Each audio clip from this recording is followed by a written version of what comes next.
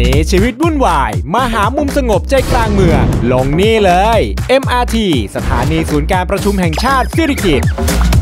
ขึ้นมาสูดอากาศท่ามกลางสวนต้นไม้ จุดพักใจสุดไพรเวท แล้วลงมาผ่อนคลายสไตล์ญี่ปุ่นแท้ๆ ที่ร้าน Peace Oriental Tea House โลกของคนรักชาโดยเฉพาะ ชำนาญในการเลือกชา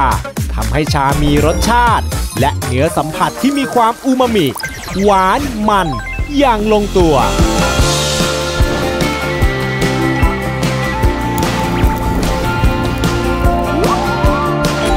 ชาโลไว้ให้แล้ว แวะมาชาร์จแบบฮิวใจกันได้นะ